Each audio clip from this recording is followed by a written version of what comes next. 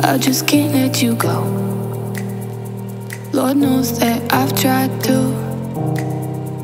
You said I was the only What's up, everybody? Welcome to my channel. No I'm Sunshinery. Make sure to. to subscribe and like this video. You made this mess and left me with the pieces. Now I. What's up, everybody? Welcome back to my channel. We are here for the part two of chapter 18 of Rachel Goes Rogue, Going Rogue with Jo Wenberg. I very much appreciate that you allowed me to do this in two parts. It's been crazy over here. And not to mention that this was a much longer episode because her and Jo had a lot to say. So let's not waste any time. Make sure to like this video. Make sure if you have not heard part one, you go back and listen to it because this is part two. Make sure you're subscribed and you have your notifications set to all. All right, breathe in, breathe out. Let's go. It's so hard like going through this reality TV experience and Yeah, I'm especially not following having in your footsteps. Sorry, but yeah, yeah. yeah not having anyone and now I kind of know your relationship status with Schwartz right now yeah, and you do know my relationship status with Schwartz because I've talked to you about it. yeah, you don't really have him as a great support system I in do this not moment. anymore. No, in this moment, I do not. Correct. That's a great way to put it. yeah. and I think that's from your choosing it's from both of Tom Schwartz, who I call T Money, and my also choosing. Um, Mm-hmm. I think that you know we don't talk anymore, and we're gonna do a little bit of a boundary situation, and that doesn't mean that we might not talk in the future. But for right now, you know, it doesn't mean that I don't miss him. It doesn't mean that he doesn't miss me. Our relationship was very organic. It was very granola, very simple, very easy, very um, you know, you list all the things that you want to have in a partner, they were there. The one thing that wasn't there probably was trust. And that's okay because who am I to say who he needs to be with or who he doesn't need to be with? What I need to do is I need to move on and work on myself. It doesn't mean that I have to talk any type of, you know, crapola. It's the Italian, yeah, about Tom Schwartz it means that I look back and I feel very grateful that I had um, somebody in my life that made me so happy. We could not have laughed more.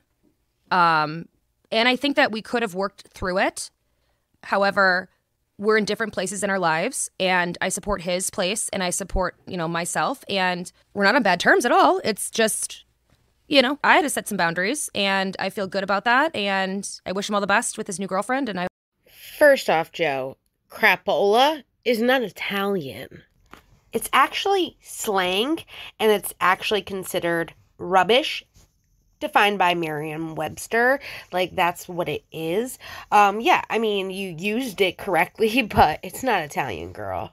And I think her relationship with Schwartz was already a situationship. It was complicated. They weren't defining the relationship. I don't think that they knew uh, what the relationship actually really was. If it was more than a friendship, if, if it was just a friendship. At that point, he had just literally got divorced. I don't know where she was in her status in life at that point, but he was grieving that process and knowing that, you know, it had a lot to do with what he did that affected that divorce to happen.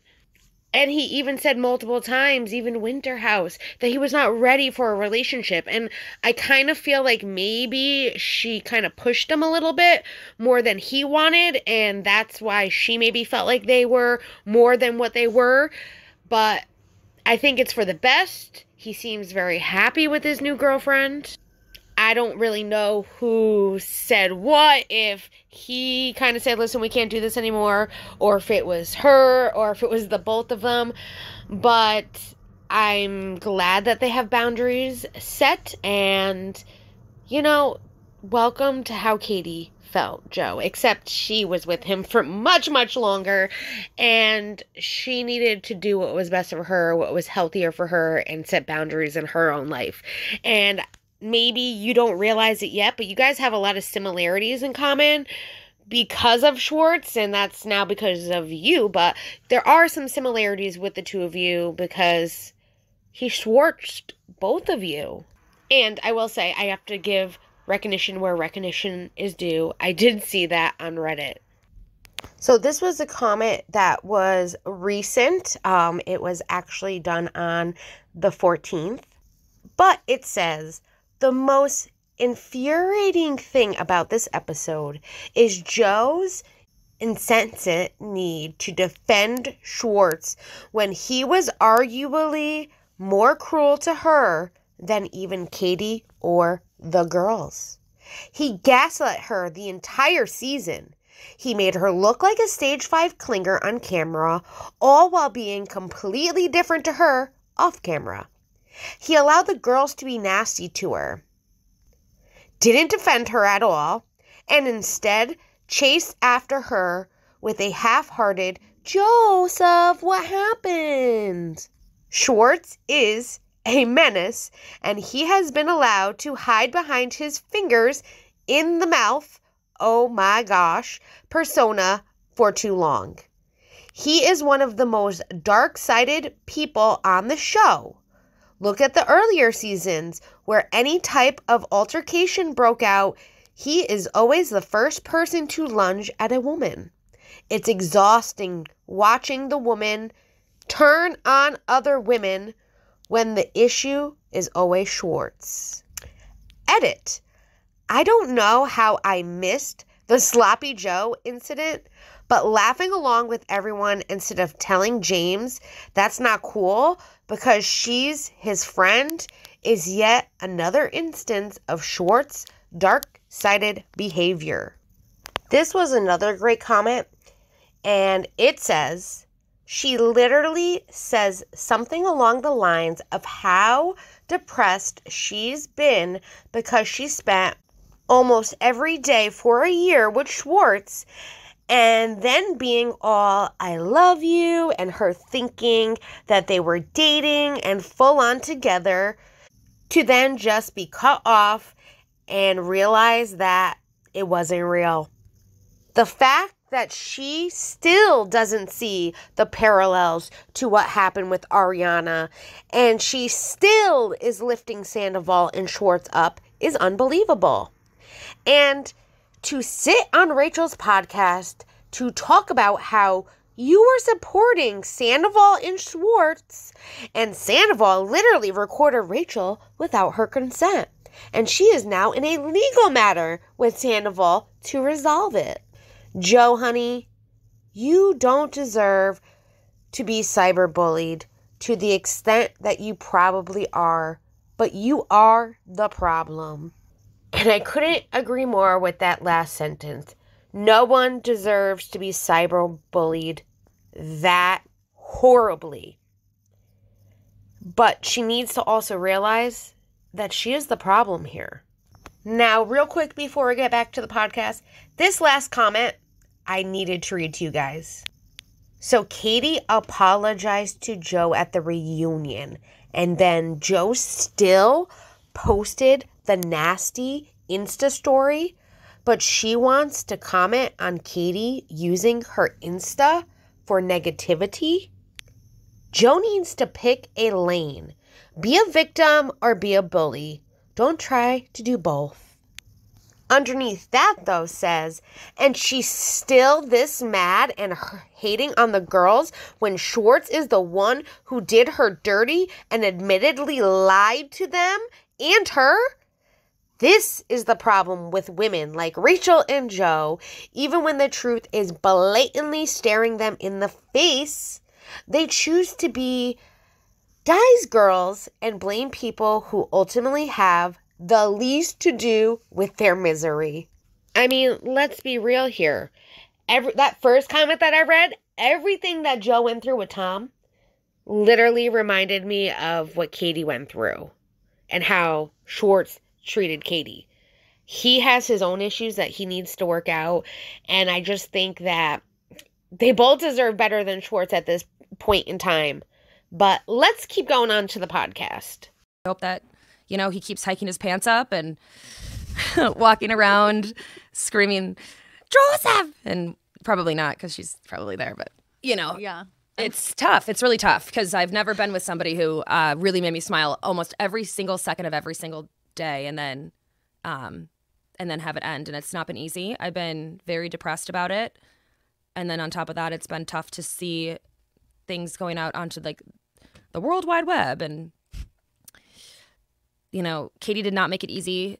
You know, let's just keep adding layers to like. No one asked how I was doing. It's the same with you. I asked how you were doing, Raquel.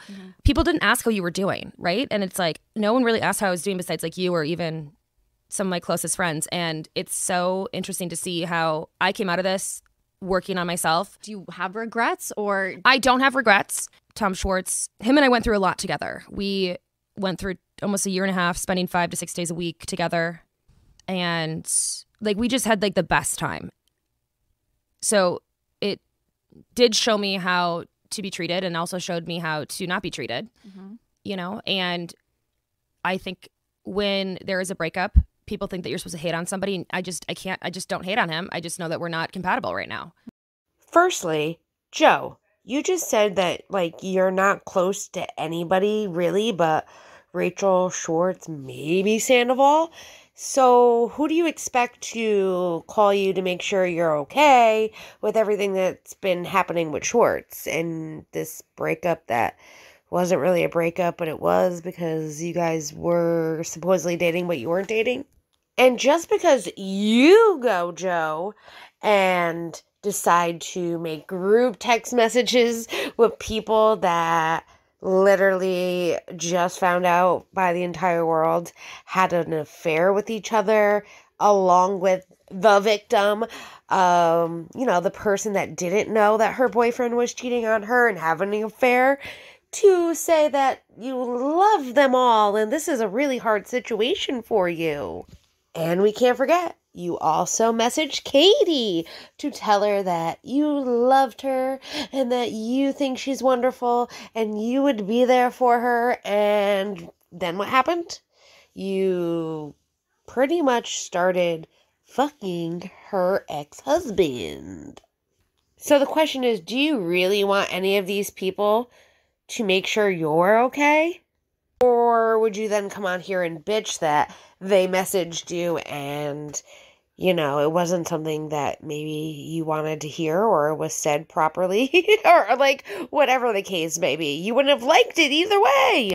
And I don't think that she really gets like she's like oh me and schwartz went through so much together and i will you know always appreciate everything that we went through because it was so much. So did Katie and Schwartz. Katie actually went through a whole hell lot more with Schwartz than you ever did, sweetheart. So why can't you understand or respect the fact that what Katie went through was very fucking hard for her? It was more than just a year, sweetheart. Like you and him. This is what I mean when I say I just don't think she is very aware of the world around her and everything that goes on. And it's kind of all about her. And then when I hear this, I just think about the comments that we just read on Reddit. And it's like, we all understand what is going on here. I don't know if she does, though. Mm-hmm. Or maybe ever. you said the only thing missing from that relationship was trust? What do you mean by that? That's a great question. The only thing that is missing now is trust. Mm-hmm. You trusting him or him trusting you? Me trusting him. From my perspective, it's like he didn't want to commit to you. You're not wrong. It's like he wanted to have his cake and to eat it too, and he Yes. wanted to keep you as like a secret side piece almost, You just nailed it. That's 100% correct. which I feel like is really messed up. Yeah, it is. I should have left. I should have just said no, good luck. But he would kind of rope me back in and I have a hard time reliving those those months and days and and hours because we had so many fun times together. I also have a really hard time with knowing that he could just like throw me aside and I can't even imagine like I think I'm a good catch. You are. Thank you. And it, at some point and I don't know when, I was not aware of when he stopped loving me. The only thing that is missing now, she said now, is trust, which that doesn't make any sense because how is she missing trust from Schwartz and their relationship is not even in existence anymore? I mean, Schwartz is in a committed relationship. Maybe like a friendship, but she didn't say friendship. She said the relationship. And he didn't want to commit to her because I mean, he said it over and over again. He wasn't ready yet. He had just got out of a long ass relationship where they were together for how many years and then were married and then had to get a divorce. Like that, for some people, takes time. Which Rachel feels that was really messed up and that she kind of experienced the same thing with Sandoval. Then Jo says she should have just left and said, Good luck. But he roped her back in. And she was having a hard time reliving those months. Wow. Seems um a little familiar. I kind of feel like Rachel and Jo are trauma bonding together. Which, listen, you need that friend that you could, you know, bond with, especially with experiences that you've both been through that are kind of similar. Speaking of similar, I do feel like Schwartz and Sandoval are very similar when it comes to what they do to women.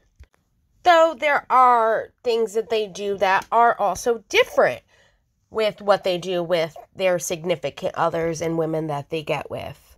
I know a lot have been saying that VPR all of these years tried so hard to portray these men as being one way and that the women were crazy, but really it's the way that they were treating them that made these women do what they did and said and all of that.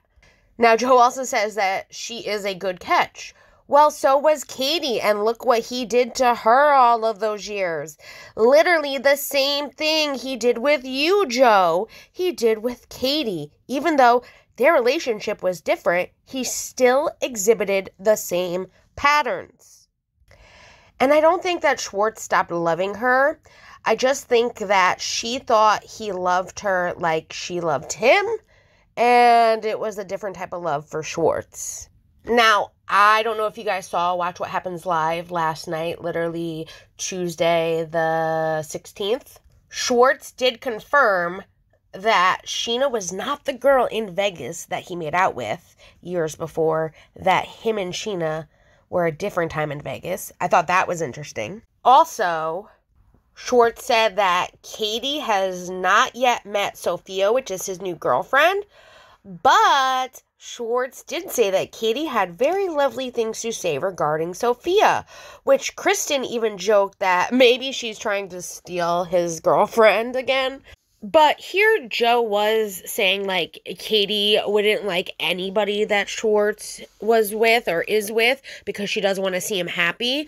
Clearly that's not the issue here. I just feel like what Jo did to Katie and like him still being within the circle group was the point of why like she was unhappy with the situation. And I really don't think like she just wants Schwartz miserable. Schwartz also did say too, which this is crazy, because this was the agree slash disagree game. One of the questions was, is Schwartz guilty of leading Jo on? Which they both disagreed. But according to Jo, she feels like he led her on. Another question was Jo is not as bad as Katie makes her out to be. Kristen said disagree, where Schwartz at first said agree, though he did flip it around to disagree and then was like, oh, whoa, wait a second. And you know what? He had not anything bad to say about Jo. He even said, I love Jo. I think she's a wonderful girl. Yada, yada, yada. So I don't know where Schwartz stopped, quote unquote, loving her. And you know, guys, I would have totally played the Watch What Happens Live, but we know no matter how much I transform those clips, they just don't like it. So check out Watch What Happens Live YouTube channel. I will link that down below if you want to see that for yourself. So I probably was the last to know, to be honest. I think the thing that is so frustrating is just seeing how he's, you know, acting one way towards you off camera. And then once the cameras are up and running, he's like a completely different person with a different attitude about the whole situation. Big time. I mean, the whole time we were dating, we were, and you saw this, we were so happy. We were in love. We would tell each other we loved each other, and we would be uh, extremely just in our own bubble, and we liked it that way. And and the cameras would come up, and it was like I didn't even exist, and it was tough. It was mind blowingly tough. I'm getting like goosebumps thinking about this. And then we'd film again, and he would make up these things and say that like we were both dating other people, and mm. I wasn't dating anybody else. Mm-hmm. I guess maybe that was his way of saying that he was dating somebody else. Um, I was the last to know on honestly everything, everything. Mm-hmm. And all I was doing was I was just being myself. I noticed that you still use nicknames for him. I do. Yes, Raquel, you are not wrong. I do use nicknames for Tom Schwartz. I feel like you've you're still kind of like grieving that. I'm 100% still grieving. yeah. I miss him a lot. I also know that he's moved on. So there's nothing you can do. Yeah. It's going to take me a very long time to get to get me to a place of happiness again um, with anybody. So again, Aaron Rodgers. So again, last night on Watch What Happens Live, Schwartz was asked, did he feel like he led Jo on? And I'm reading this from the transcripts. He says, I don't like that narrative, honestly. We had such a good time together, and it was a mutually beneficial, super fun relationship. Like, well, I don't know if it was a relationship, situationship. It was fun, and we had a good run while it lasted. I would also like to point out that another question was Do you stand by Jo not knowing about Rachel and Tom since you all went to Big Bear together? And he said she knew what they told her. She knew, which is where Andy kind of cut him off and said, What did they tell her? And Schwartz was like, I mean, as far as she was concerned, like me, she knew Tom and Ariana were breaking up. And then, of course, Andy went into what is your reaction to Jo revealing that you two exchanged I love yous? And he said, Um, I think we were fond of each other, but there was, I think it was some sort of shade of love, but I don't think it was the real, actual love. And what regarding to what Jo said with Rachel, these boys always seem to be two different ways. One way on camera, one way off. And I think they also like to lead people on in the sense that they tell them what they want to hear so that they can benefit from whatever they are trying to benefit from. Again, I will link the Watch What Happens Live YouTube page down below in the description for you all. No, but yeah, I got I got I got mentally fucked up. Like I I've never said that before. Um I haven't been able to kind of get out of bed unless I've, you know, been doing hair and stuff.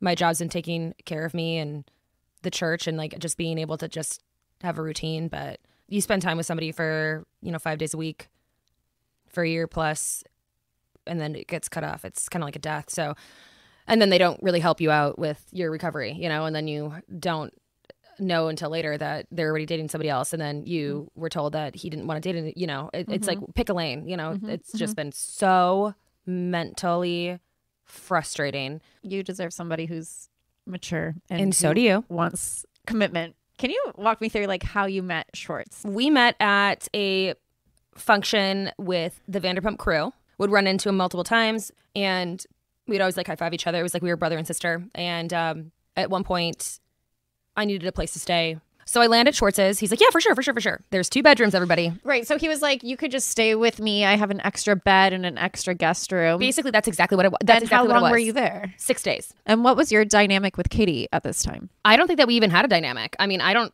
I'm- was never friends with her, super close. I mean, I remember texting her a text message when they had gotten a divorce back in months prior, and, And um, that's the text message that yeah, she that she about. just keeps talking about. And I, I had no idea that that was a thing. I mean, I just thought that would. I was like, yeah, we were in a group of people, and I was like, okay, cool. I'll just because she's it. making it sound like Yeah. you were like reaching out as a close friend Yeah. and that it was only like a week or two later that Correct. you started hanging out with Right. Schwartz. months months after it's not like me and Schwartz had anything going on whatsoever if anybody out there can understand this it's it's easier to save money so i wanted to Mm-hmm. save money that was my priority So when you went to stay with him, nothing happened? nothing happened I mean, Katie's making it seem like you were close and then you texted her and a week later you guys like you moved into Schwartz's apartment and you guys were hooking up immediately.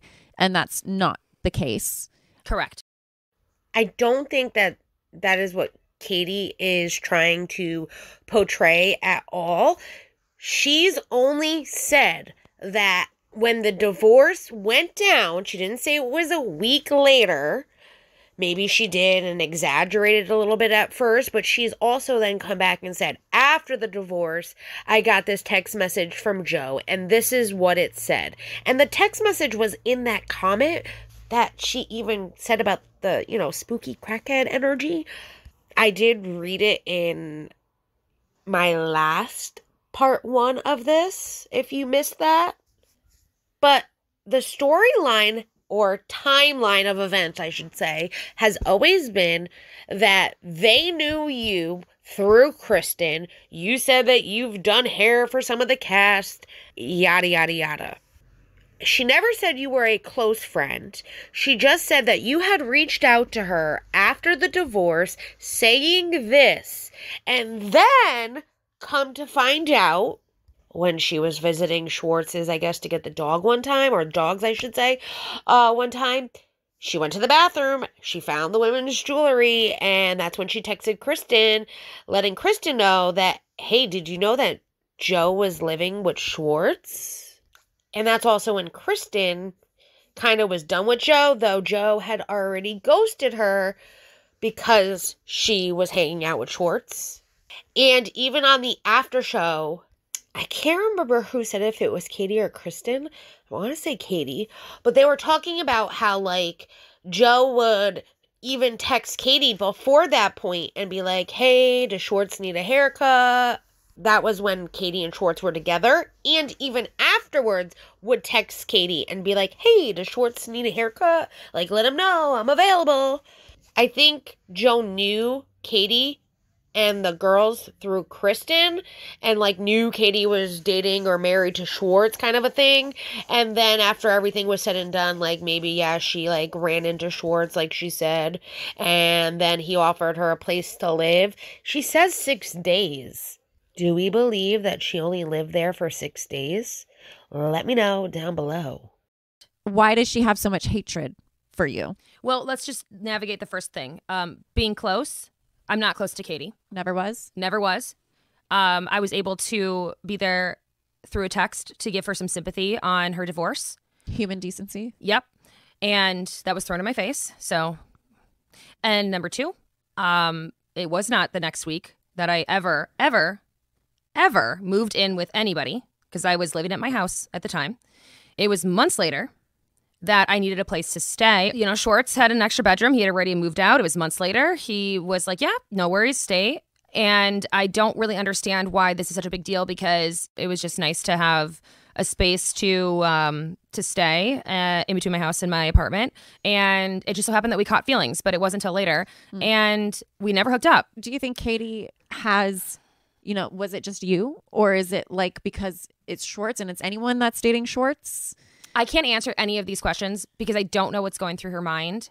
I will say this I think subconsciously she was a little bit intimidated by the relationship that Schwartz and I had because it was real. Everyone saw it. Like Schwartz and I had such a great bond. You've seen Schwartzy and I together. It's been fun. together. You bring out like I could just tell like you're so authentically you with him and he is so authentically himself with you and it's heartbreaking to see that like cuz no, you guys are compatible but it just seems like he's not quite in the headspace Yeah. to be able to commit to somebody. Yes. And it almost seems like he's ashamed. Yeah, he kept me a secret for a long time, and that was like really weird. But I didn't really know how to handle that. You know? And it's weird too because obviously I was a secret for a long time. Yeah. and I thought maybe Schwartz was like, you know, like it was a secret thing f- with you guys. Like, We would go to the bar, we'd hold hands, we'd make out in the corner, and then Yeah. we would like go on a date, and then all of a sudden he would tell the press that we weren't together Right. for over a year. I think the point is that you were closer to Katie than you ever were Schwartz. Not that you were close friends, but you were closer to her than you were Schwartz. Even when you used to cut his hair when they were together, you would text Katie about the appointment, not Schwartz. I'd also like to point out that we clearly know it was months later after their divorce because they were living together. You know, they had to sell the home and all of that. So clearly it was months later. It wasn't like a week after their divorce. Duh. And I think the big deal was not only was he like hiding you, he was not telling people that like you were living with him either. It was a combination of it. She also says they caught feelings, but they never hooked up. But then later says, like, oh, they would go to the bar, hold hands, and make out. And she's admitted that, like, they have done the deed. So, like, when did she not hook up with him? It's things like that that just don't make any sense. And then here's Rachel, like, well, do you think it's like Katie? And like, do you like think she like feels like this, this, this? You don't want them discussing how you all feel, but here you are trying to discuss how they feel about situations. The hypocrisy. Though everybody is entitled to their own opinion, so neither is right or wrong. Like, you guys can discuss it, but don't be like, oh my god, they're talking about me and I don't get it. When you're talking about them and their feelings. And then there's Jo. Schwartz and me had such a great bond. He was the best when he was with you, Jo. They brought out the authentic you and the authentic him. Okay, um, to me, these are just two girls that both feel like what they had with the Toms, each Tom, was so much better than what, you know, Katie or Ariana had with the Toms. Which, like, realistically, their relationship turned shitty in the end, but does not mean that their relationship wasn't the best at one point either. Or what they went through is less than what you are going through. Are you kidding? And then to say, like, Katie just doesn't want Tom with anybody, or like she doesn't think that Katie wants him in a relationship with anybody, clearly that's not true. Again, I said it before. I just think it's now he's with somebody that's outside the friend group, and it's finally someone that she can, like, either get to know if she chooses or not, but she doesn't really know anything about them. And it's a different dynamic. and we're seeing this play out on the show this season. yeah, we are where seeing this play out on the show this season. You guys hang out so much. I've seen you guys hang out so much. Yeah. And then he's like, oh, Jo, like, no, we're not yeah, together. But then in the same breath, he'll say something like, I want to "I can you." marry her." Yeah. It's so confusing. Yeah. It's confusing, but then it also makes sense because, like, is he so wrapped up in the perception of what he looks like? And Yes. is it Katie that's like maybe maybe his mindset is influenced by Katie because Katie just has it out for you? Right. It's all these questions that I don't know, Yeah. and I really don't care because at this point, what I do care about though is when he says, "I don't want to date somebody right now," but he was, and now he has a new girlfriend. That one is the f- messed up part. It's so messed up to me. That makes me angry. Makes Yeah. me very angry, but I will I will take care of it on my own time with meditation and yoga and all the things. That one really bothered me because it's not correct. Because if you don't want to be with somebody, then you have to give the right answer. But I will say this: I wish he would have. Um, you know what? No, I wish nothing. I think he did everything the right way, and Tom Schwartz and myself are in a good place. We're not speaking, but I wish him the best, and um, I think that I can speak on behalf of myself and Tom Schwartz. We both could have done so many things differently. We both made mistakes. However, we both had the best times together. Yeah. And I want him to really find happiness and I want him to be the best version of himself. And, you know, I think that you can see that through the season. We bring each other happiness big time. However, that's done. It's over, and I need to move on. Mhm. The moving on part has been tough. Yeah. I Yes. think that's the hard, Big the hardest part, I- especially when you're like thinking about all the good times that you had together Yes, and all of those moments and the memories and the photos and the everything. and like the thought of like what could be. The moments where I would literally, you know, do the stupidest thing, and he'd be right there, and like, you know, we'd always be like. You know what they say? And he'd be like, a rabbit decides to cross the road. And I'd be like, uh, and the truck decides to run over a acorn. Like we were just, we were so, so at some point, hey, everybody out there, Aaron Rodgers, if you're listening, I will date you. I don't know who Aaron Rodgers is. Who's Oh, he's a football player. oh cute. I feel like he would definitely be my type. Hell yeah. Yeah. Let's make that happen. Okay. Why is she blaming Katie and saying that maybe it's Katie that influenced his mindset because Katie had it out for her? I just don't get that one. Clearly, Tom never gave a fuck what Katie felt like. Clearly. like, come on. Which then Jo says, it's all these questions she doesn't know, but she also doesn't care to know. Yet, here she is pondering about them and assuming things that she has no idea about and if they are true or not. When really, if she didn't want to know, there would be no need to be pondering. And if she did want to know, then why not ask him or listen to what others are saying too? Because it's not like they aren't talking about this and how they felt regarding the situation and things. I.e., example, watch what happens live. I, I know I'm I'm sorry if I'm being controversial here, but I will tell you this.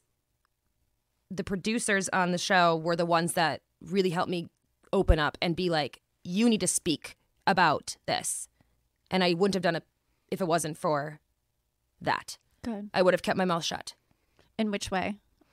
Hey Jo, we're seeing a different side of this, that, the other. How mm. about you kind of open up and like speak a little bit more? And it took me a minute, but they really, really were pushing to be kind to me because they saw before I did. Mm.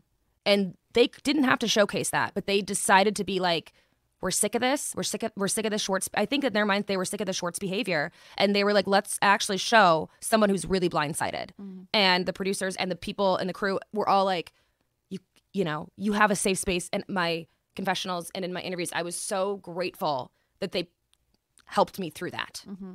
I don't think I would have been able to be vocal about it if it wasn't for them. Mm-hmm. So I give grace and I give thanks to people in areas of my life that have helped me through certain situations. And mm-hmm. that was a big one for me. Mm-hmm. I mean, I'm just saying, I mean, I, that's No, my journey. I hear you. I think production does a really good job of being observant of Yep. people's behavior and seeing the miss. just like the disconnect between certain things that they observe, but then potentially not saying the actual, but then they didn't have to do that. To, they could have easily let me look like a fool. Mm. But they really were like, look, Jo, without saying anything, we want you to talk. Yeah. And I was like, oh, okay. I love how she says, I hate to be like controversial here. And then goes into how like production helped her and told her she had to stand up for herself and speak her truth. But yeah, that's kind of what they did with Rachel, especially with everything that was going on with the affair when they picked the cameras back up and had like that one on one sit down with her and all of that. And she felt a different way about how production was pushing her to say things and all of that. And clearly, Jo knows where Rachel and production stand right now and everything that's going on. That, like, she's pretty much blaming the entire show, production, evolution, for what she went through. And I felt heard. I mean, I'll be honest, I would not have been able to get to this place unless somebody pushed me to talk about it. Mm-hmm. And not only that way, but also on international television. Yeah. Um, I felt very lucky to be in a place that no matter what transpired, no matter what was edited, I felt for once able to speak on what I was feeling, what I was listening to, what I was being told, mm-hmm. all that. And I mm-hmm. said it in front of a camera and I stuck to it and I got heartbroken and I hope that maybe somebody out there is you know, can relate to that. Mm-hmm. You filmed the reunion. Yes. Do you think the cast had a different perspective on your relationship with Schwartz after seeing the way that it has been playing out? Yes. At the reunion, when it, whether or not this is going to get aired, I hope it does at the reunion, but when it came down to it, the cast really was under the impression that I was lying about my relationship with Schwartz, and Schwartz was the one who was kind of keeping me behind the scenes.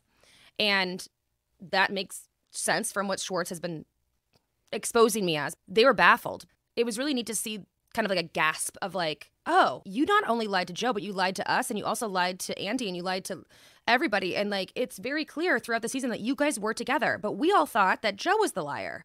And when in mm. reality, Jo was the one who was being honest. Mm-hmm. And I don't remember what the reaction was of Schwartz, and I don't know if it's going to air. I hope it. I really hope it does. And you know, Katie apologized to me too. You know, so it was kind of like a weird full circle moment. Mm. I was, I was, I was shocked. I, I couldn't believe that even one of the you know seven, eight people on these couches would even listen to like my side of the story and like listen. Honestly, it was almost like a reverse. I mean, I just remember looking at all their faces and being like, "Holy moly!" Jo isn't the bad person. And not that Schwartz is a bad person, but no, it was a big switch. Yeah, it's like Yeah. a reverse Uno It- card. yeah, and like it made me feel uncomfortable. It made Schwartz feel uncomfortable because I, I don't want to put Schwartz in a bad position, but it also made me feel kind of comfortable because people were finally realizing that, you know, hey, I'm not really comfortable even being here, but I'm excited to be here because I want to speak my truth at the reunion. Yeah. And when I did speak my truth, it was almost like a big aha moment from the cast. I mean, let's be real. That's kind of what happened with Sandoval and, well, Rachel too, where the cast was completely shocked because of what was happening. And Sandoval was telling Rachel one thing, kind of like what Schwartz was doing with Jo, telling her one thing and doing another. There are just so many similarities and like slight ways that it's crazy. I mean, it's not really a new thing that these boys lie to everybody. Like, they've lied about things for so many years to so many people. So, I guess there is a lot of oh my gosh moments, especially with those two. I will say the difference is that at least Jo was being honest with everything that was happening. Rachel, not so much. And I don't think, I don't know why she thinks that, like, no one would want to listen to what she had to say because I think if she actually tried to talk to them and explain what she was feeling or what she thought she was going through, they would have listened too. And didn't she sit down with Ally? And like Ally did say, like, oh, I asked her about like her and her relationship with Schwartz, and she kind of deflected from it and wouldn't talk about it. So then Ally like reworded it in a way that she kind of talked about it, but then she compared again, even here, to their relationship being like a brother sister kind of relationship, which is so awkward to say, especially if you are in a like dating relationship with somebody. that is just so weird. And another thing I realized too, like just listening to this, Jo really likes to repeat and repeat and repeat and repeat what she's saying. It's like we're going around in circles. I'm not gonna lie, it could be the ADHD, which, like I said, nothing against her. I have it, so I understand. And I get sometimes I even repeat myself over and over again. I just feel like maybe like with a podcast, like even me doing these videos, we kind of need to be a little bit like self conscious to what we are saying and doing so that we're not going around in circles or saying the same thing over and over again. Or maybe she's even doing it just to like reiterate her point. I'm not too sure. Where. But I think we are getting what you're putting down. That's all I'm trying to say there. I feel like it, it did you a disservice because if he was just honest and truthful, It would have been great. it would have been, you know, like, Oh, maybe- maybe not even great, but it would have been like real, and it wouldn't have put you in a position where you are now looking like a crazy, like Correct. crazy girl, crazy girl who's like him. crawling like after oh. him know. every time. Like I'm just always following him. I'm always like trying to like, you know, I'm always at his ankle. Like no, or like inserting yourself right. and like in reality, it was the opposite. And then when that truth finally came out at the reunion, everyone was like, and they all just kind of like looked at me differently. yeah, You know, and I don't care how they looked at me, but it was a moment of like shock and and and and. You know, Scheana was giving me a tissue, and I'm not sure if it's going to air, but I'm hoping so because then Schwartz goes into the whole she's a light of my life. She's awesome. She's great. Like I should have all the th- and then it's like a da da da da da da da. So I'm having a hard time between being like telling the truth, which is exactly what I'm telling, and then also not ripping Schwartz apart because he is a good person. Mm-hmm. But I think he needs to work on himself. Mm-hmm. But that's not my place to tell him. Mm-hmm. It's my place to work on myself and talk about my experience. And I hope that he can get to that place one day as well, individually. That's such a mature perspective. It's a true. I mean, this It is, is- what we're, learning this, I know you know, this in our life. This is what we've been talking about. Like, we- Yeah. and this is the problem with codependency too. Is like, Yeah, as I much was- as you want somebody to help themselves, Yeah. They will not. No. unless they want to. I wanted so badly to help him with so many avenues and aspects of his life, and it was positive and positive and positive, and he was so grateful and all these things. But then it's like he, you know, it, I realized I wasn't getting the same back, and I wasn't able to get the same amount of love and support back, um, and I'd have to ask for a lot of that, and um, he would give it to me, but I realized that uh, I had to really weigh the pros and cons, and you know, to this day, if it was me and Schwartz on an island somewhere, I would be so happy because he wouldn't have his phone and he wouldn't be on a TV show. Yeah. He's such a good person. It's just a matter of where he's at in his life. And I hope that he's doing great. And um, I also, you know, I mean, I'm not a person to get mad at people for treating me poorly. I'm a person that's just going to work on myself and make sure that I can just talk to my friends and talk to them about my things that I'm having going on in my life. I want to like get through it on my own. And I just think that will. that should have been, yeah, I will. And I think that that should have been given to me as well. No one gave that grace to me though. So, and no one gave that to you either. So, Yeah. yeah. well, we're resilient. We're yeah, sticking with it. I felt like I was listening to Katie for a second because she very much said the same thing about Schwartz and their relationship. And everything that Jo just said, Katie has gone through with Schwartz. And I kind of feel like Jo is forgetting that. And Katie dealt with it for a lot longer. The things he did and said about Katie were disgusting. And he did the same with Jo. Maybe not as vile and disgusting as he did with Katie, but he did the same with Jo. And I'm glad that she like mentions that Katie apologized and like the cast was there for her. Yet here they are still trashing these people that have a different outlook after everything that has happened. You move on from that. You don't keep um, you know, bringing up the past and what they did and said, how they treated you when now it's different. You are making it so that they continue to have an issue with you though they feel bad for you. They've apologized. Just like even after the reunion, you still did what you did to Katie and Dana with the whole iHeartRadio sizzle or fizzle. Katie literally apologized and said she felt so bad for you because she could understand what you went through. But you still chose to be a petty Betty for whatever reason. And then you wonder why they have a problem. And who was she expecting grace from? Can we be real though? Like, literally, anyone that came into the group never got grace. They all dealt with their own traumatic turmoil with their like kind of initiation into it all. Scheana's had trouble with the group. Lala's had trouble with the group. It's not just Rachel and Jo. A lot of them have felt that way. And there were people that did things on purpose to make them feel that way because they felt like maybe they didn't want somebody new in their group or whatever the case may be. But they're not the only ones. A lot of these girls went through hell with the people in the cast. All right, we're going on to the last part, which is still long too. Like I said, this episode was super freaking long. And I think it's because they went around in so many circles and they both had a lot to say. It's time for our breathe in, breathe out. Let's go.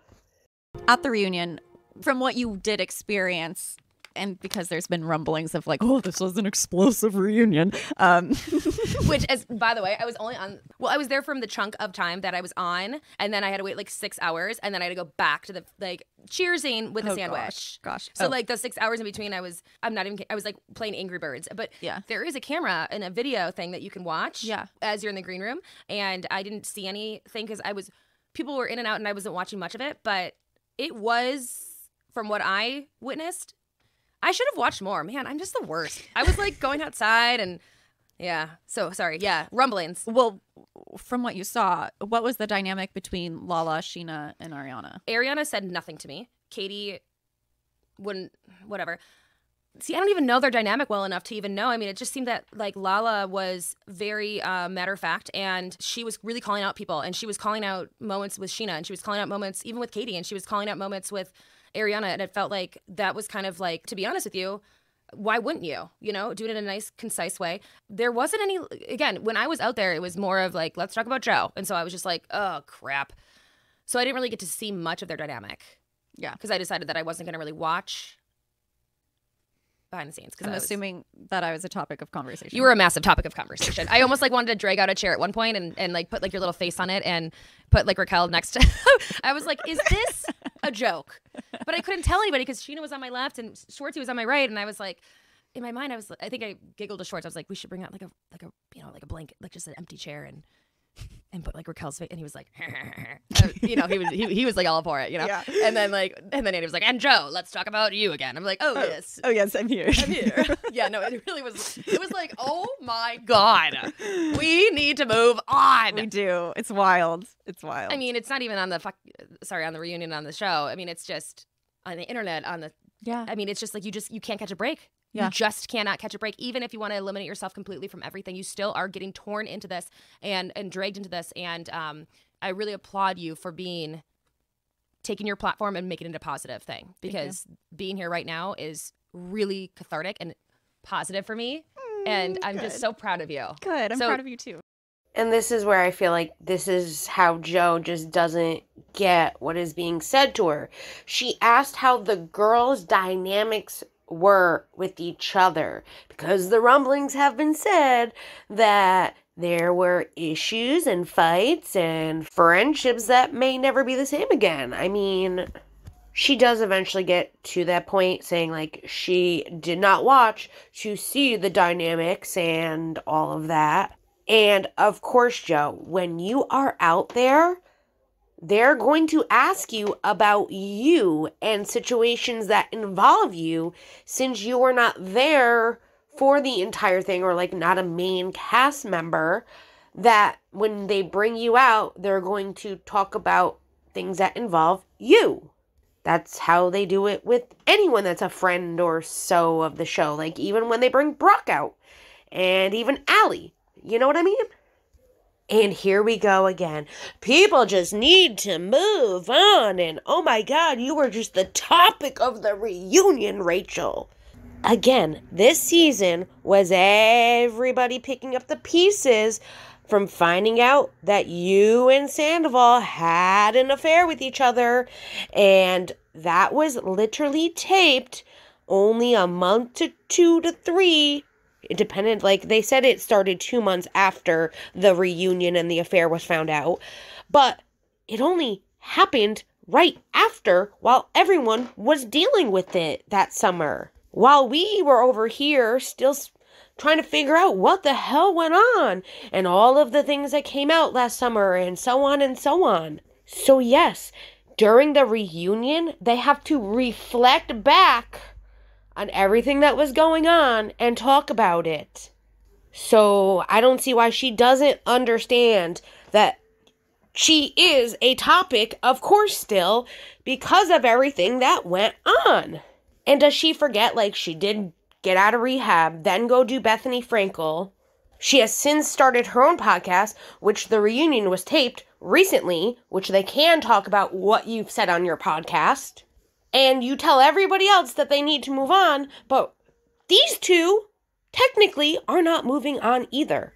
Rachel every week talks about the show, them, people on the show, all of that. She also just had a lawsuit go through the court system, which to me shows she's not moving on. Not that she doesn't have a right to sue people, but with everything being said and done, it just shows me personally that I don't think she has moved on yet either. So stop telling others to move on when you keep talking and we want to discuss what you are saying. as well as others. And again, you need to remember when the show was taped, why you were a topic of conversation. I don't know. What do you guys think? Let me know down below. Unfortunately, you're going to be the topic of conversation for a couple of more months, but you know, Oh, Yeah. yeah, 15 months of Yeah. shame. I know. It's like you're not even on the show anymore, and you're just like, yeah.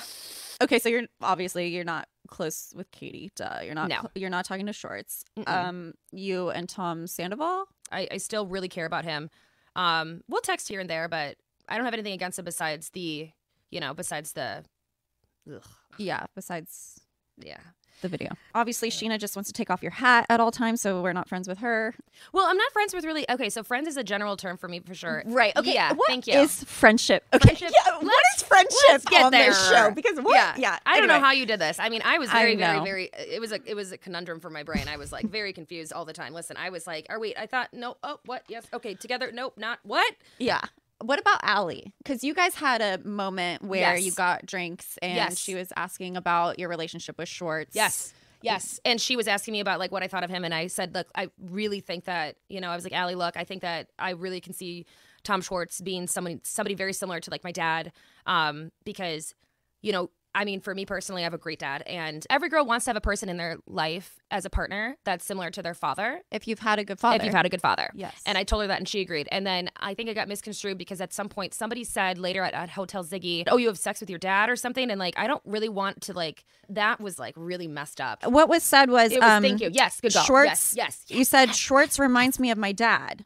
Yes. And then it was like Yes. misconstrued Yes. to like Yes. It's something incestual. These are five women that don't even know me as well. So it was nice that Ally had dinner or, you know, drinks with me and had done my reading. But for somebody to relay that information to five people around a table at Hotel Ziggy and then speak on behalf of like me, and I'm not even located, I'm in the corner plugging my ears.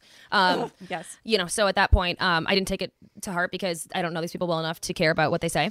Um, and I really do think that Ally kind of was kind of like, just you know, she just kind of said it, and I, I I didn't have a problem with her. I, I- what I had a problem with mm. was the afterwards where Katie was talking about making me uncomfortable. I mean, I already was uncomfortable, and I just think that we should all date somebody like our dad. If like our dads are like lovely humans, and Yeah. what's wrong with that? What's wrong with that? I felt like Ally was a little bit catty. It seemed like she kind of knew what she was doing with interpreting it and like feeding it to the girls who were already talking crap about you. I think these girls just don't have the same concept of what a friend is, who a close friend is, and who is like your best friend. I have a lot of friends on YouTube, and I have a lot of friends in life. They know me. Maybe we don't talk all the time, we talk here and there, but I would can still consider them a friend, somebody I care about.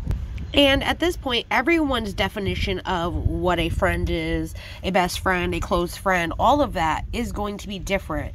And if you have any confusion on where you lie, even in a relationship or a friend, you need to be open and honest and ask.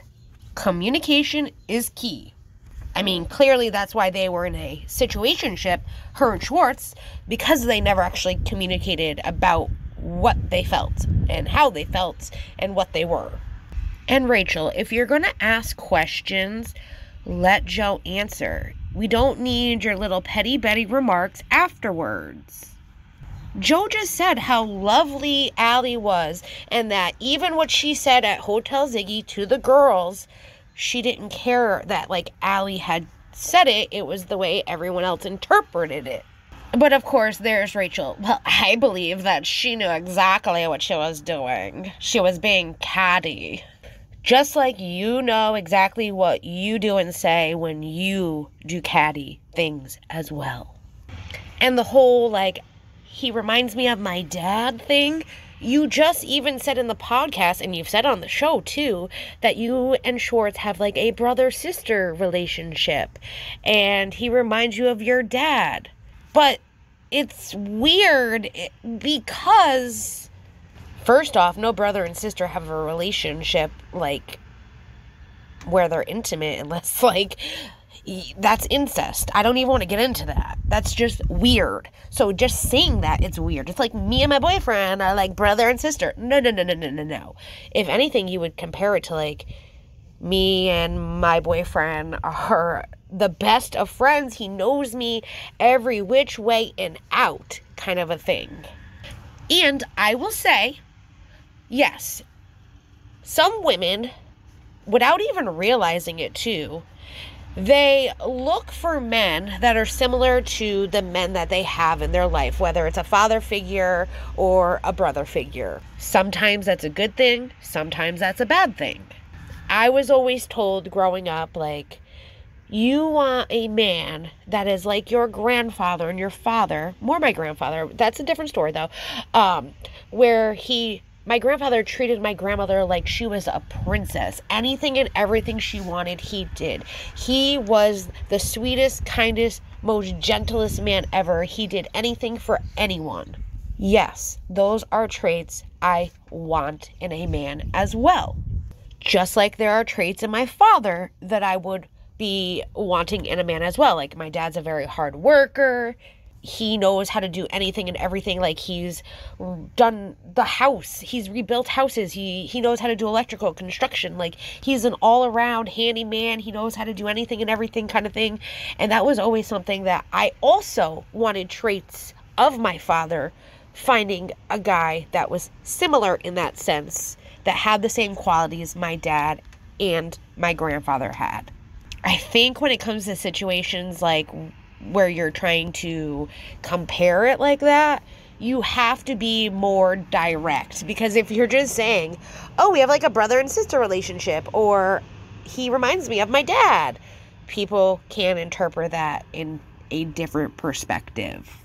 And it could sound very weird. That's why you should give context to it, like you're kind of doing here. Now we understand. See, here's where I have a problem with this. Talk is talk is talk is talk is talk. Okay.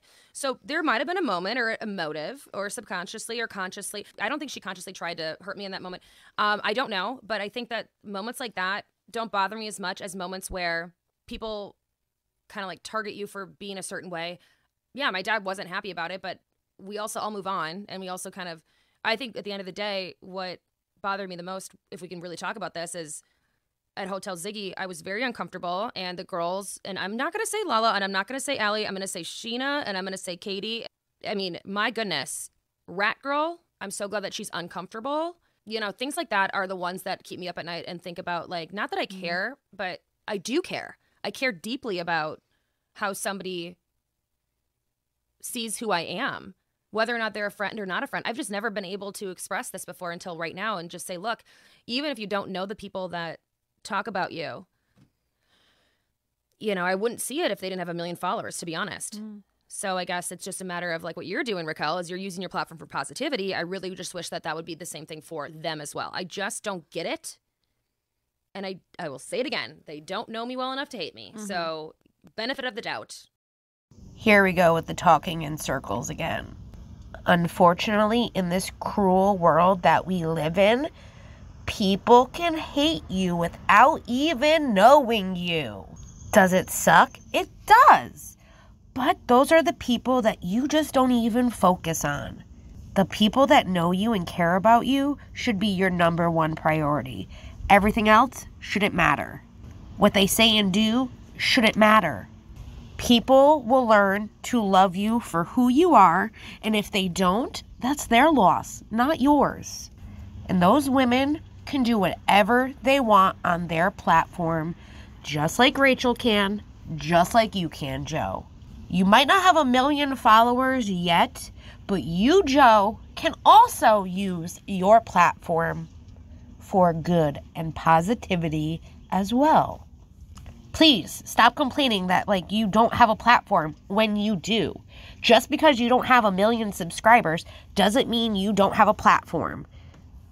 I'm an even smaller creator and I have a platform and all I want is the best for everybody.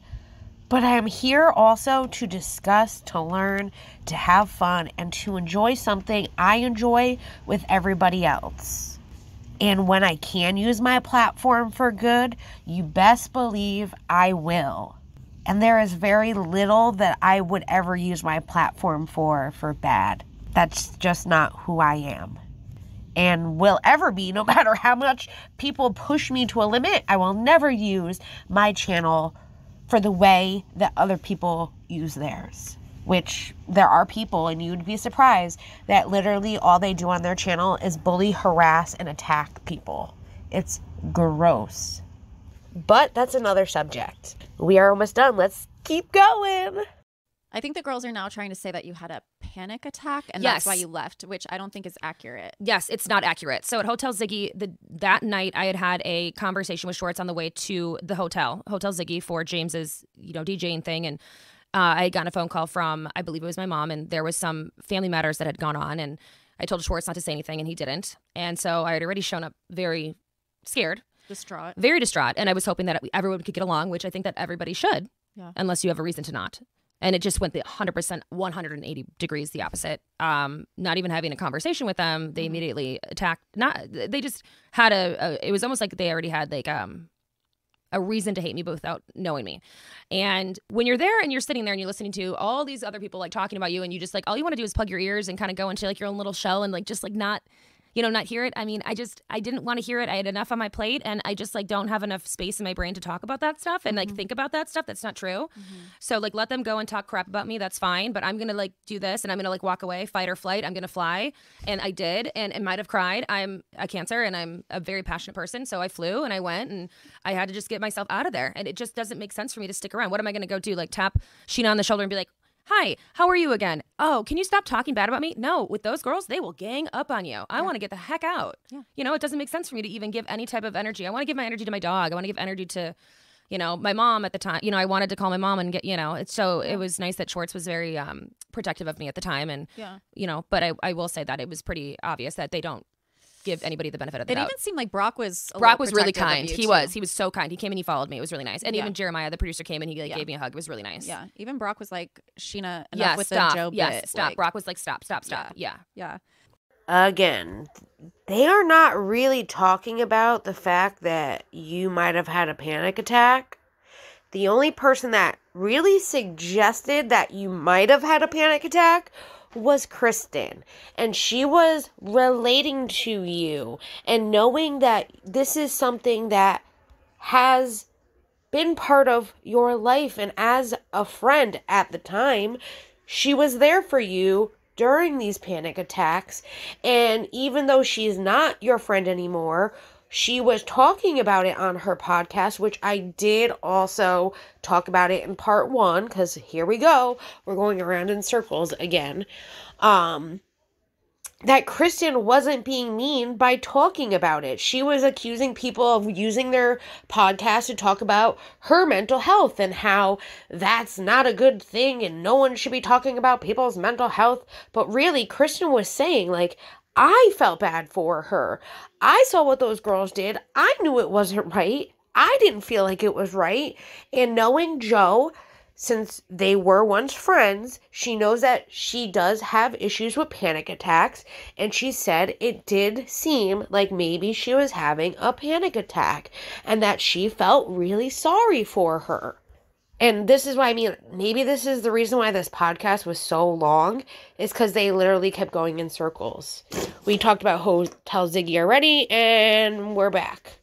Like she talked about how people were using their platforms for to talk about her mental health and talked about how people were saying that maybe she had a panic attack and then Rachel asked and it, oh yeah yeah I'm going in circles guys I'm literally spinning as I talk to you guys in circles this is the fun I have In the episode that we saw this week, we see you go with a group of friends to this singles Okay, party. so in the episode this week, I end up doing Schwartz's hair blonde, and he invites me to a single the singles night, Uh-huh. and I actually kind of invite myself, and he kind of goes, "Oh, Okay. What are the colored wristbands? So color wristbands are red means you're taken, green means that you're single, and then yellow means that you don't really know complicated. Okay. So on the way to the event, um, Schwartz and I were in the same Uber together, and of course we went together, and we were there in the in the mindset that we were going to go and support Sandoval, right? Because he's single. Sorry to bring, but you know at the moment, well, whatever.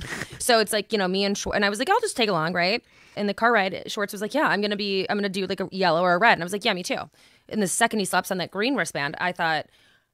Hmm, I guess I'll slap on a green wristband as well. Because th- when he said I'm going to do yellow or red, that was off camera, correct? Correct. It was on the way to the Uber, off course, camera, of course. And um, yes, yes. And so we get there, and I'm thinking, oh, then I'm totally okay with this. We're just gonna do. I mean, I kind of was a little bit irritated that he wanted to do like a yellow, but and not a red. But I was like, okay, well, whatever one it is, like we'll just you know go through the night and be fine. We're just here to support Sandoval and like be there for him in his single night. And so then at that moment, I remember sitting there, and he slapped on a green wristband, and I remember thinking. I just couldn't even believe it. And then I decided that I was going to slap on a green wristband as well because I didn't really know how to navigate this. And then um, we all got up and we started mingling, and I had to go to the bathroom. And when I came back out, he was making out with somebody, but I didn't see it. Um, But he was like talking to this girl, and you saw him talking to her. yes, I saw him talking to her. She was trying to take his hat. The hat that she was trying to take off of his head in this episode was a very special hat that his dad had given him. And that's why I went in and I decided to be kind of like a mom or like a little like bit of a protective person. And I said, Look, Schwartz, are you sure that you want to give that hat away? And he was like, Yeah, yeah, yeah, I got more in my storage unit. And I was like, No, you don't, because I knew that he didn't. And then he goes, What can you give that back to me to the girl? And I was like, I did my work, right? I did what I had to do. Whether or not he gets the hat back, okay. So then I walked away. What you don't see is that Schwartz and I go to the bar and we were deciding to have a shot. And then um, I come back and the girl's wearing the hat and he's trying to get the hat back. And I'm like, well, I did what I did. Yeah. And I look at how he's very flirtatious and he's wearing the green wristband. And I'm just putting two and two together and I'm thinking, oh, no, no, no, no, no, no, no. Yeah. So I leave before he makes out with this girl. So I decide to, you know, to go. And um, I, I do my, I do the best way that I can, which is kindly say like, hey, I'll see you later. I left. And yeah, I mean, at the end of the day, I can only control my actions. I mean, it was tough to watch. Yeah. But then I found out later, months later, when I did my confessionals and interviews, they told me that he made out with somebody. I never knew that. He came home, and by home I mean his apartment, that night. And I was sleeping in my bedroom, you know, because I had to do hair. This is this is also something I want to clear up really quickly. I have a lot of clients in Burbank, so it's easy for me to sleep in his um in his second bedroom. But at the time we were dating, so um, wherever bedroom we wanted to sleep in, it wasn't a big deal. But um, I went home and he came home and I was like, "Did you uh, have a good night?" He was like, "Yeah," and I was like, "Did you did you lock? You know me? I'm like, did you lock lips with a? Did you smooch?" And he's like, "No, no, nothing, nothing, nothing." And I'd already taken out the dogs. I was able to like you know lock up the apartment. I was able to just and I was finally ready to like shower and go to bed. And he comes in and he's just like wasted, and I'm like, okay. Hmm. And then I don't find out until later that it's like the 14th lie that he's told me about. You know, I found out later, and then I now find out that he's made out with somebody, and I don't care if it's meant to be or not meant to be. I think that he just likes to make out with people, and he gets really drunk. Yeah. Yeah. Yeah. Yeah. Yeah. Yeah. Literally, that is all I've been hearing from Rachel. And here we go again with like talking in circles. And like I said, I don't know if this is like part of her ADHD, which nothing against that at all.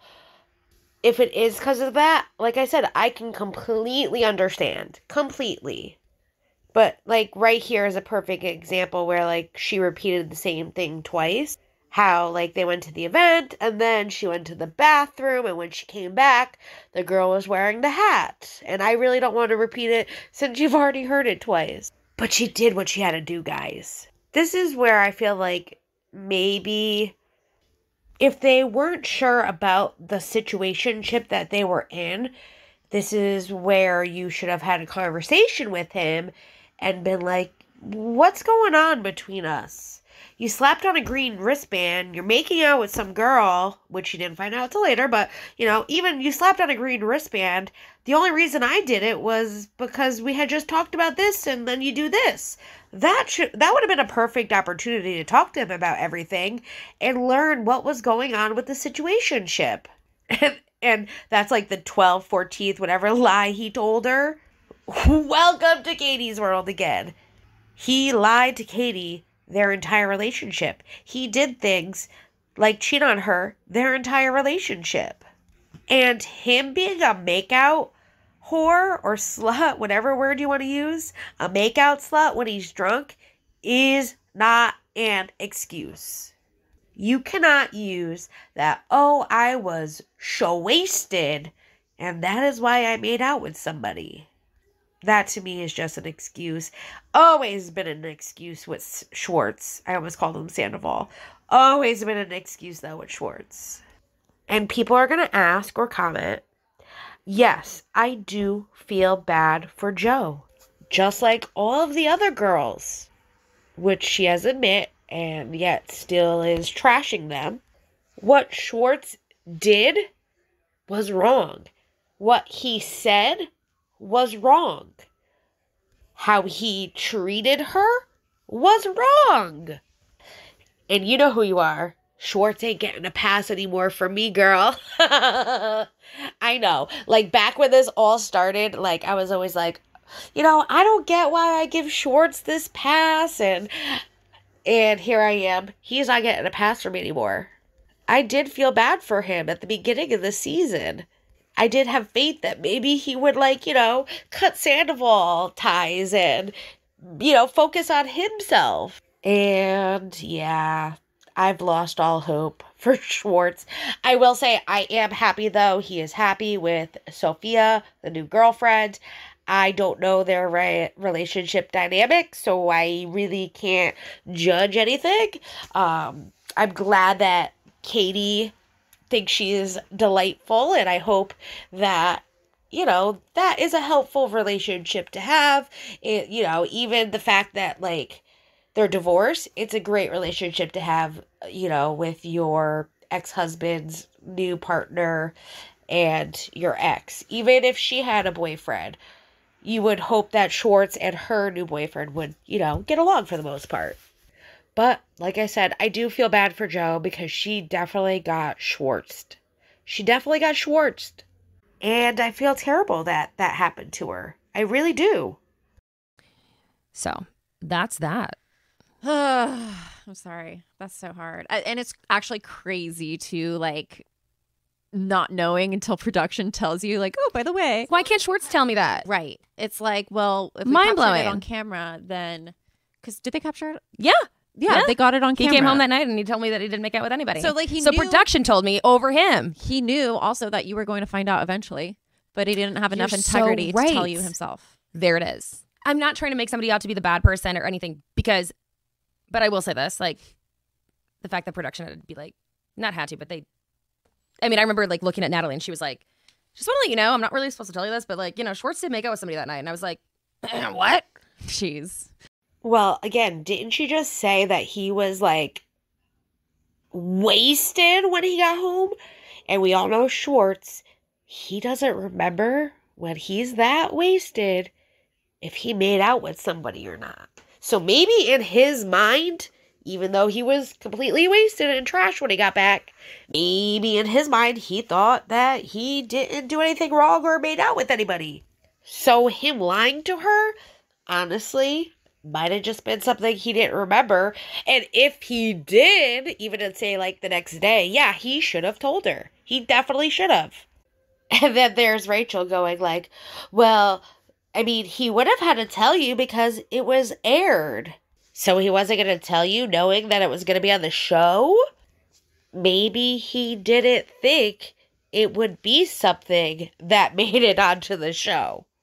And production telling her sometimes they tell people things even though they shouldn't to start issues, to have some drama, to kind of see what someone will do or say and help push the context of everything going on or story. You know what I mean?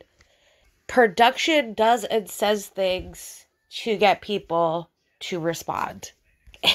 and I think even more now after learning what happened last season and everything, I think that they are going to do that a little bit more too, just to make sure like whatever they see is getting relayed. Though they're they're saying it's a secret. I definitely want to learn more about the production aspect of everything and how production is with VPR and all of that. I think they're production panel at BravoCon was amazing, but that is totally something I would just love to know more about. And I really do like hope that Peacock at least does like a production special of like maybe a behind the scenes of season 11. That would be great. Or maybe at BravoCon. But I did hear rumblings that they're not doing a BravoCon this year, that it's going to now be every other year. So we will have to see. I will say this if BravoCon comes back to New York, I'm going. I, like I said, only live an hour and a half away from New York City because I'm in Connecticut. So that would be amazing. And I would totally be down. I would vlog it all for you, and we would have a kick ass time just by me going. and I would make sure to document it all for you guys. But we will have to see. If you guys know anything about BravoCon, please let me know down below. And let me mm-hmm. know what you think about all of this, too. All right, guys, we are rounding the end. Let's go. Okay, I want to talk about this for a second. Yeah, tell me. Because you've called me a few times, like struggling, trying to get over Schwartz. And you asked me, like, how did I do it? How did I get over Sandoval? I always say I'm four months behind you. and I was like, it was very difficult. It was Yeah. so hard. Like, I was so hung up on it. Yeah. I gave you advice that one of my therapists asked me to do. She was like, "Why don't you create a fantasy busters list?" And I- and I told I tell Jo this. She's like, "What a, a what list? A what busters list?" And I'm like, "Okay, well, basically it's a list of like Yes. all of the facts Yes. that you know for sure, things that you've witnessed that are undeniable." Of like the red flags, the things that the situations that they put you through, the things that like you know without a doubt, the boundaries that were crossed. That the- never crossed your mind until you decided to have somebody like a friend tell you, like, maybe write them down. Yeah. So when you write them down and you see this list, Yes. it is It's co- so it pulls you out of denial. Like it, it brings you into reality because Yes. you're not living in this fantasy of Yes. who you want this person to be. I mean, he never went to my basketball games. He never came and watched me surf. He never, you know, things like that. He never wanted to go paddleboarding with me on the west side. Schwartz never wanted to even come to the west side. I always had to go to, I mean, things that I loved, he just didn't care. You know, he just kind of, I mean, I just, I, I was assuming that, eh, I mean, I even got him a basketball jersey for the, for the, you know, the team, the basketball league that I'm in. And I got Schwartz with my number on the back, you know, I'm number eight. Love you, Kobe. And he never went to one game. There was no, I mean, it was like he wanted to just kind of keep me into this little tiny. And it was all for show for him. I mean, he just wanted to be on camera. It wasn't even like, And correct me if I'm wrong, but I think part of the reason why you chose to do Vanderpump Rules season 11 was, was because of Schwartz. He asked you to. Correct. If Vanderpump Rules does a season 12 and they ask you to go back, would you do another season? Yes, for $1 million. I had a great adventure. It was awesome. I also will say, gosh darn it. You learn a lot, kids. You learn a lot. Yeah. But I'm focused on my my uh, Jo my gosh hats, and I'm focused on my hair business, and I'm focused on my friendships and my family. Yeah. Amazing. Do you want people to follow you Yeah, Jo my gosh. at Jo My Gosh? Yeah, at J O M Y G O S H. Um, Love that. Instagram. That's all I have, and it's not J O E. It's just J O. Done. Do you think that there's going to be another season? yeah, I think so. I think so too. I do too. I think maybe they'll have one more season because the ratings are good. Yeah. Well, thanks to you. Mm-hmm. you're welcome. And a fantasy busters list. Very, very interesting. I wonder what's on Jo's list as I do wonder what is on Rachel's list. I thought for sure like she was gonna have Jo read hers, though that, like I said, would be interesting to hear, but she didn't. And I do think there's going to be a season 12 for sure. I don't believe that's going to be the last season either. But we will all have to wait and see. Jo, I'll go back for a million dollars. So, what does that really mean? Would you go back for season 12? Don't make a joke about it. We wanted to know if you would go back. Now that Schwartz and you aren't even speaking, you only really have an ally with Sandoval. Though the girls now feel bad for you, but I think after everything they hear here, they might just be like, girl, we just stuck up for you. We said we were sorry, and here you are. This is why. Like, so I'm not sure if she would even have them as allies.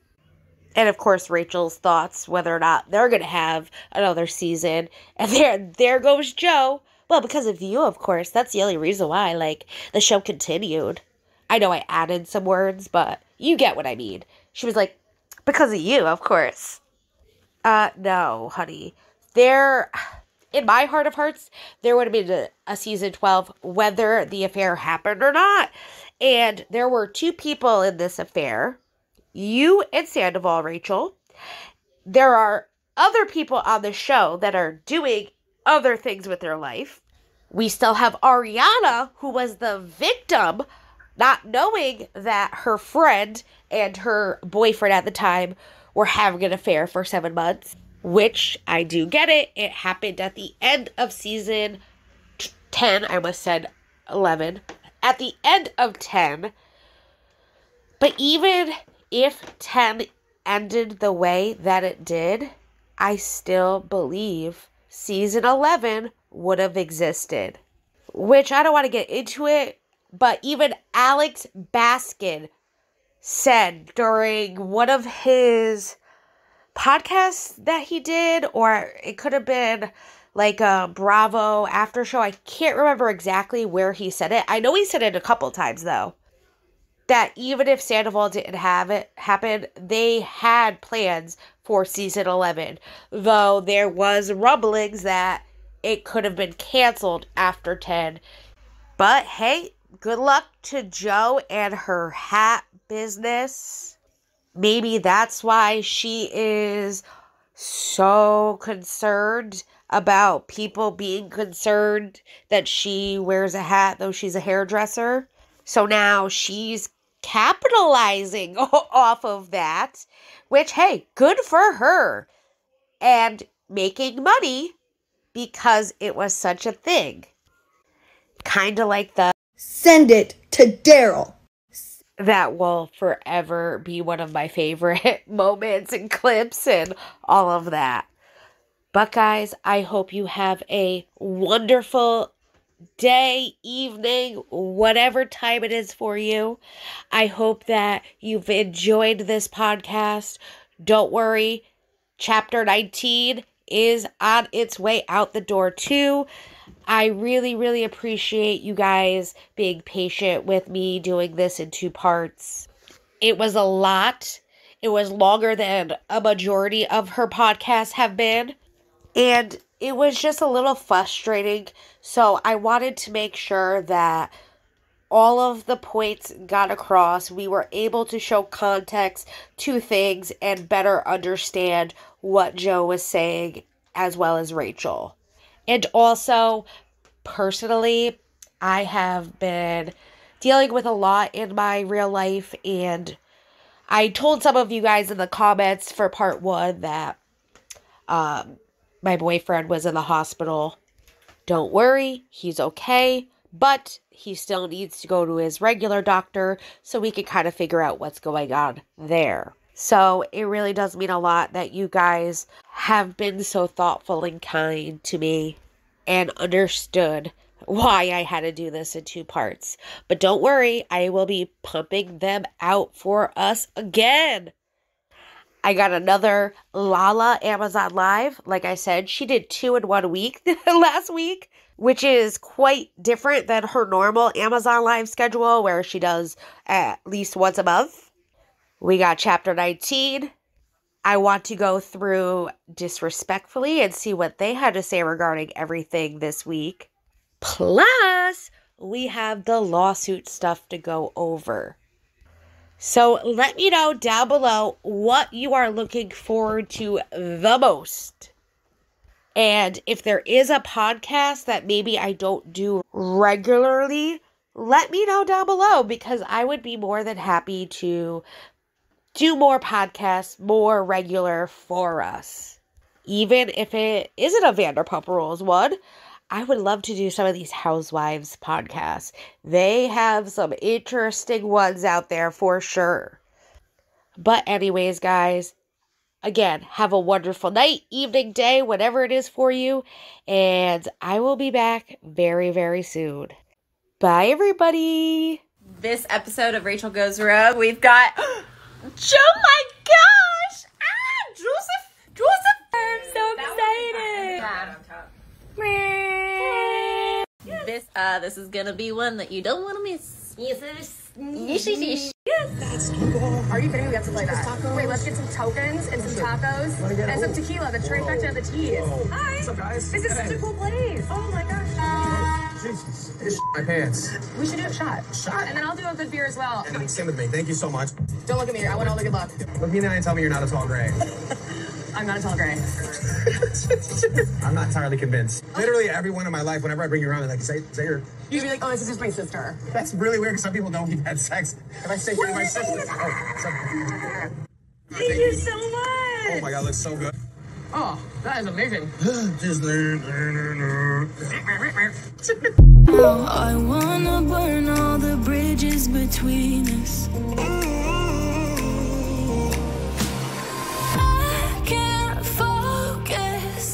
I